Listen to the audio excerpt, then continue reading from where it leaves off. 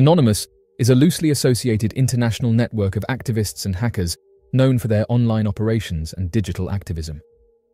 Since its emergence in the early 2000s, Anonymous has captured the attention of the media and the public, often making headlines with their high-profile cyber attacks and involvement in various social and political causes. Anonymous operates under the philosophy of hacktivism, combining hacking skills with social and political activism. Their actions are often aimed at exposing perceived injustices, promoting freedom of speech, and challenging systems of power. One of their most well-known tactics is distributed denial of service attacks, where they overwhelm a target website's servers with traffic, temporarily rendering it inaccessible. While Anonymous is known for their disruptive activities, they also advocate for online privacy and freedom of expression. They have been involved in campaigns against internet censorship, government surveillance, and corporate greed. In the last few days, hacking groups such as Anonymous Sudan have issued a threat to carry out a potentially devastating attack on the European financial system. Their primary target will be the SWIFT international communications system, and various members have come forward and said that these attacks could have wide-ranging consequences. A video was recently published where the group states that they are retaliating against Europe for its involvement in recent conflicts. According to security experts, although this possibility may seem unlikely, financial institutions should remain vigilant for potential attacks, as some of these groups who are sending these threats have a reputation for launching potent distributed denial of service attacks. Anonymous Sudan, a branch of the larger Anonymous Hacktivist group, issued a video and multiple messages on Telegram cautioning about an upcoming destructive attack directed towards the European banking system. The post also suggested the possibility of targeting the US Federal Reserve. The person featured in the video adopts the expected anonymous approach, wearing a Guy Fawkes mask and disguising their voice. They suggest that the banking system holds significant influence. The issue with the group is that not everyone has to agree on the motives, as anyone can join Anonymous, and for this reason, in recent years, it has become known for engaging in this kind of political maneuvering, which is consistent with their previous actions of issuing threats to other organizations.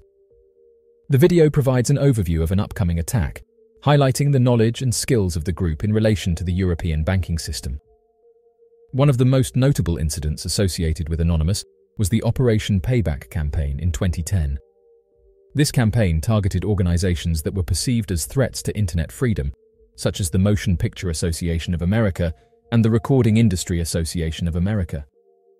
Through distributed denial of service attacks and other methods, Anonymous disrupted the online presence of these organizations as a form of protest against their perceived infringement on digital rights.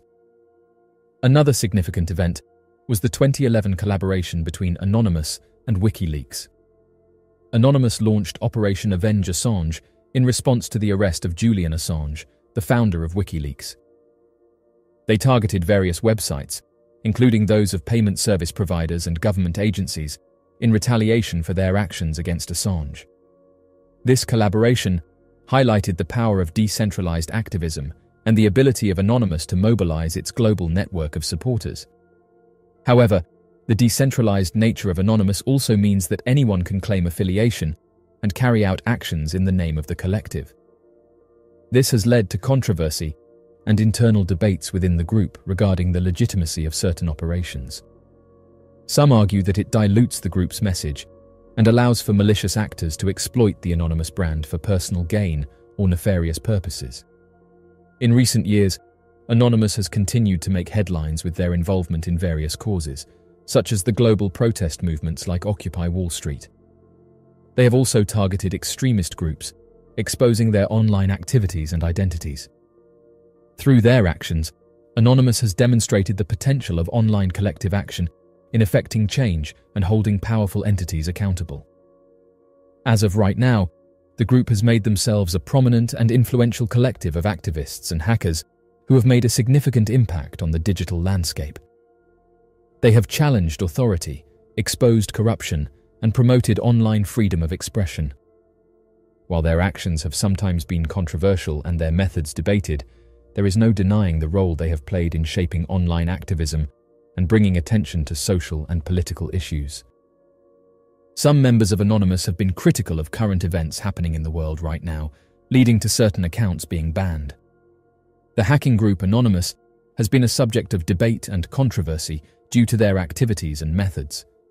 Whether they are perceived as good or bad largely depends on one's perspective and the specific actions being considered.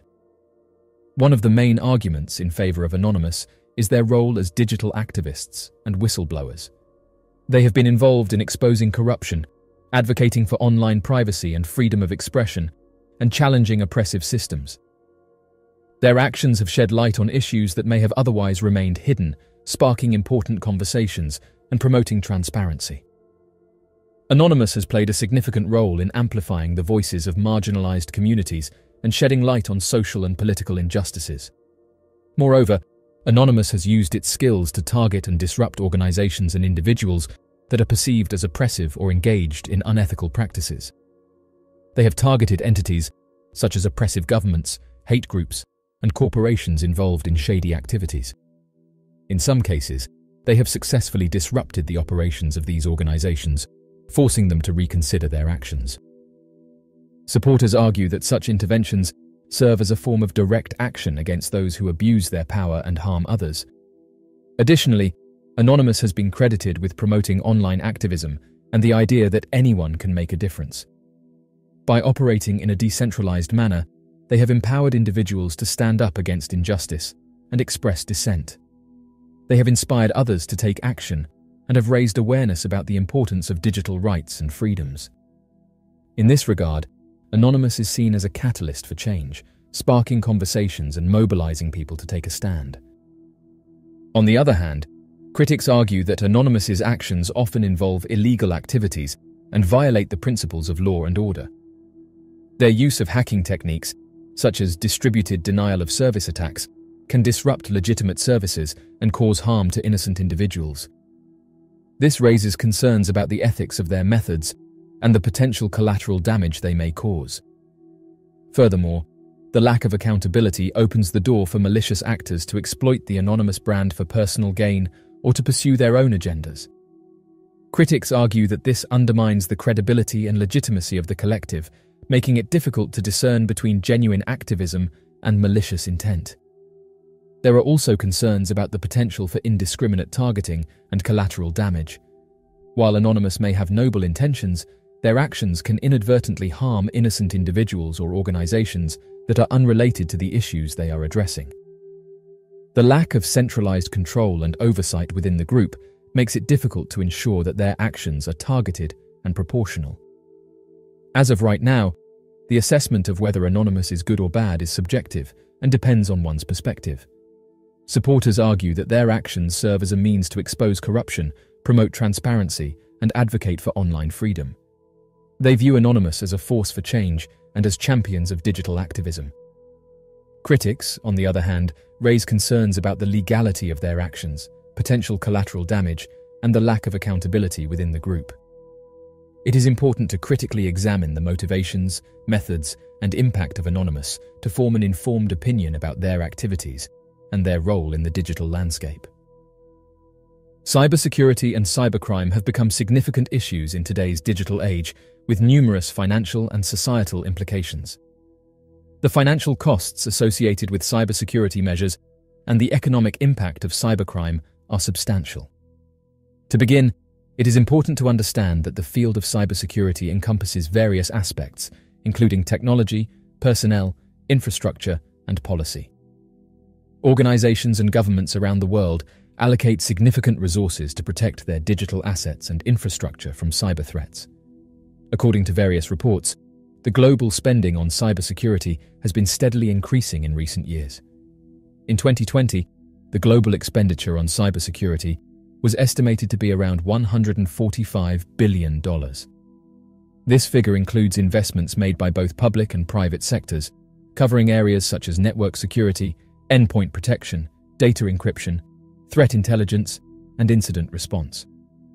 It is worth noting that this estimate does not capture the full extent of cybersecurity investments, as many organizations also allocate significant internal resources to develop and maintain their cybersecurity capabilities.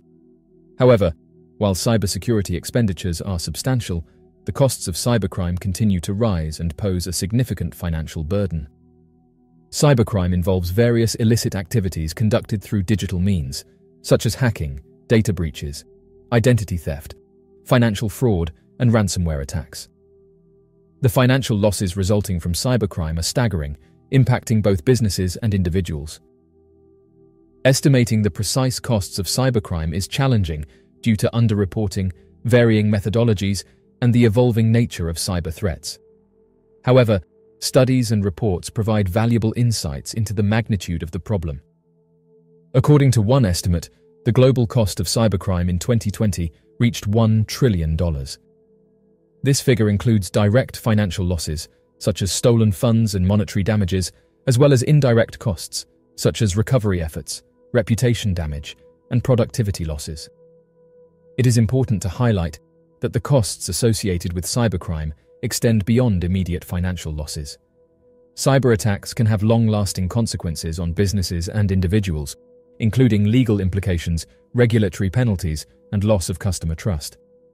Moreover, cybercrime can disrupt critical infrastructure, impact national security, and undermine economic stability. To counter the growing threat of cybercrime, governments, organizations, and individuals are investing significant resources in cybersecurity measures. The goal is to develop robust defenses, enhance incident response capabilities, and promote cybersecurity awareness and education. Governments around the world are allocating budgets to strengthen their cybersecurity infrastructure and establish frameworks and regulations to combat cyber threats.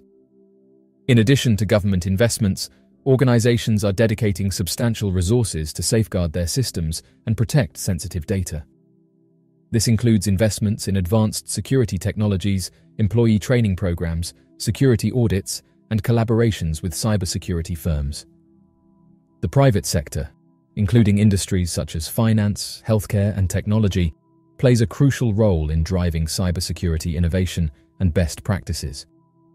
While the billions of dollars spent on cybersecurity demonstrate the commitment to protect digital assets, it is essential to recognize that cybersecurity is an ongoing battle. Cyber threats continue to evolve and become more sophisticated, necessitating continual investments and advancements in cybersecurity measures. Moreover, the costs of cybercrime are expected to rise as criminals adapt to new technologies and exploit vulnerabilities. Ring of fire activity sparks earthquake fears. There are some places on our planet that are, unfortunately, more prone to disaster than others. Perhaps the most dangerous of all these places has earned itself the nickname the Ring of Fire, as a result of its renowned reputation. This is a path along the Pacific Ocean that is particularly prone to natural disasters. Along this so called Ring of Fire is a host of active volcanoes, and the alignment of the tectonic plates means that this ring sees the majority of the earthquakes on Earth too. In 2018, researchers began to pick up on a number of earthquakes affecting areas nearby to this geological terror zone, namely Japan, Guam, and Taiwan. However, research conducted in California, which has also seen its fair share of natural disasters, suggests that there may be aftershocks that continue to affect the area, due to the tremors seemingly coming in multiples. What is even more concerning is the belief that this smaller seismic activity has the capability to be building to something significantly larger.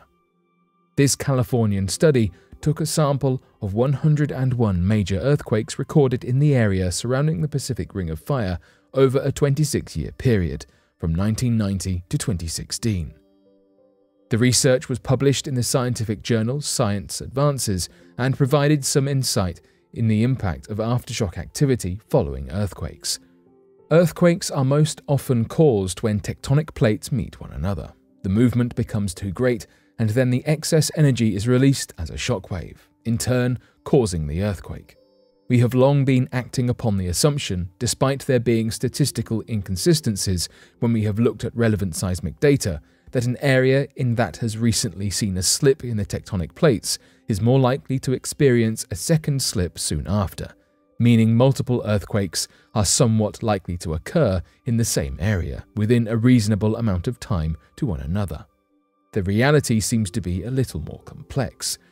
As opposed to the residual stress on the fault line, the fracture along which the initial slip first occurred, the ongoing impact is on the surrounding areas, which, with each nearby earthquake, are being pushed increasingly closer to failure themselves.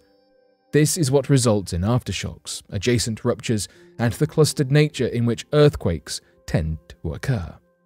This pattern has been observed in Taiwan, Guam, and Japan.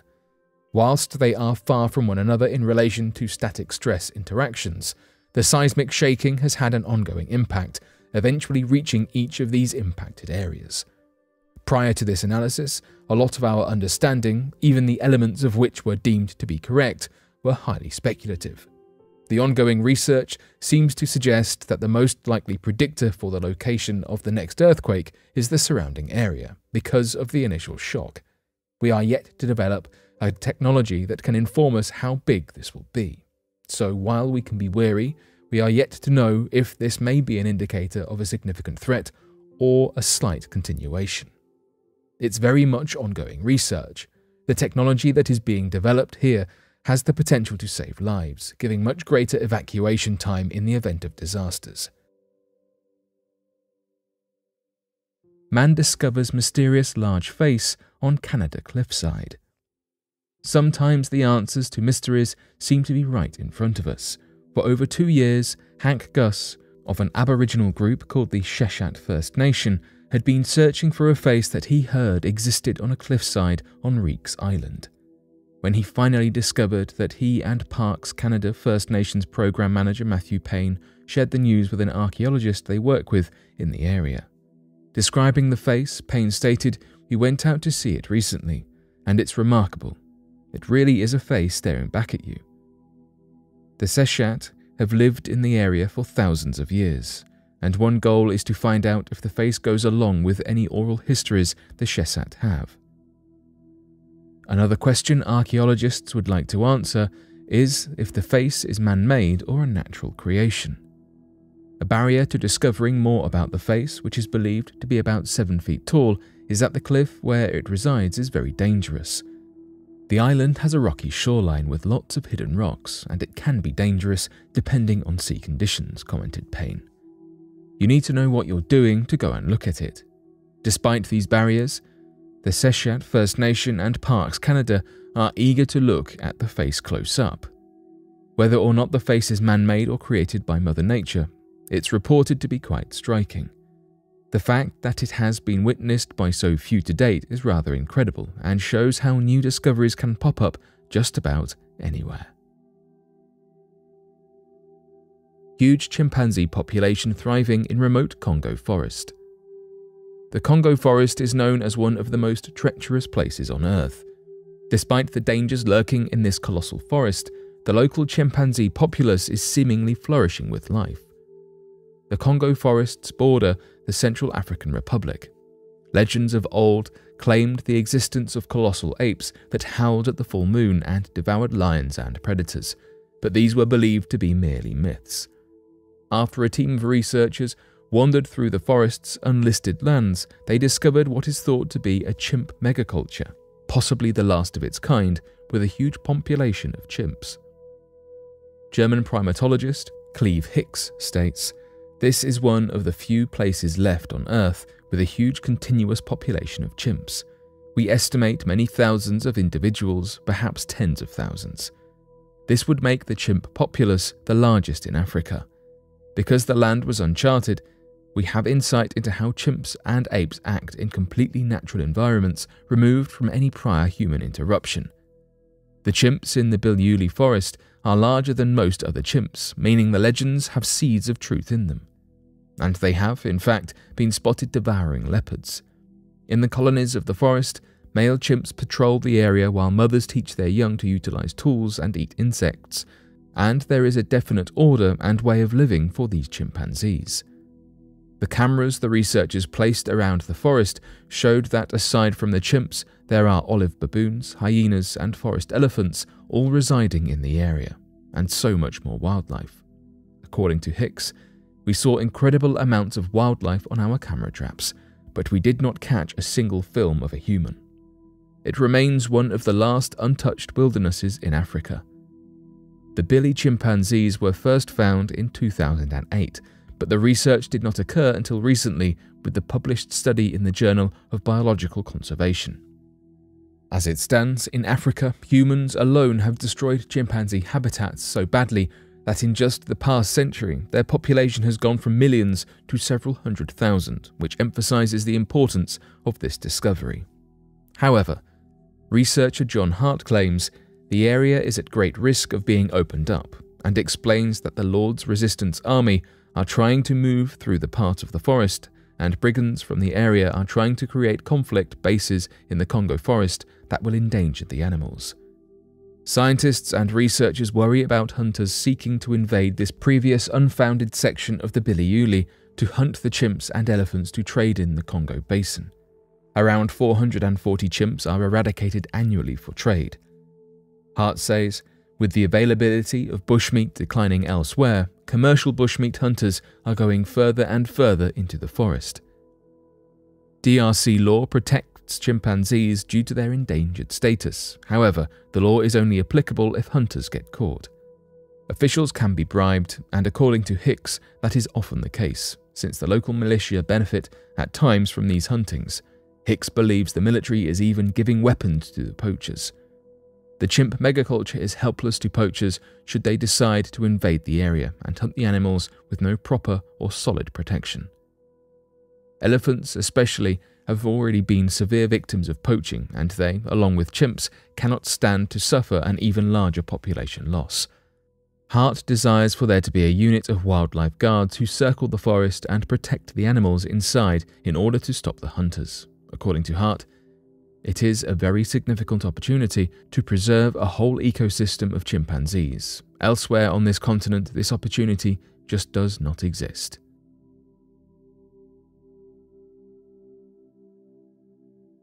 But what do you make of these recent discoveries? Be sure to let us know your thoughts in the comment section below and help us grow this community while working to solve these unexplained mysteries. Thank you for watching and don't forget to subscribe for more videos.